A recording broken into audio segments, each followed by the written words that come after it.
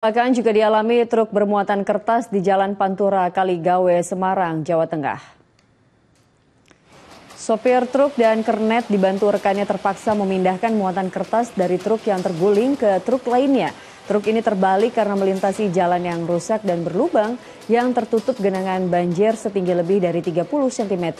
Diduga sopir truk tidak menguasai medan. Tidak ada korban dari peristiwa ini, sementara jalan Pantura Kaligawe hanya bisa dilintasi mobil besar karena masih banjir.